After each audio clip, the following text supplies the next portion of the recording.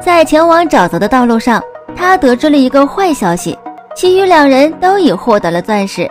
没办法，Fog 只能加快脚步，来到了沼泽。Fog 收起了来时的船只，不留痕迹。这是一个老练的猎手该做的事。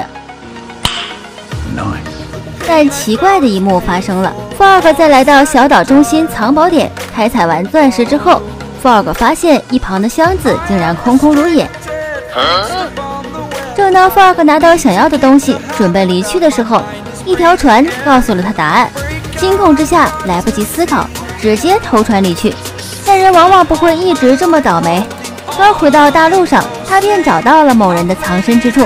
于是他决定主动出击，突袭基地。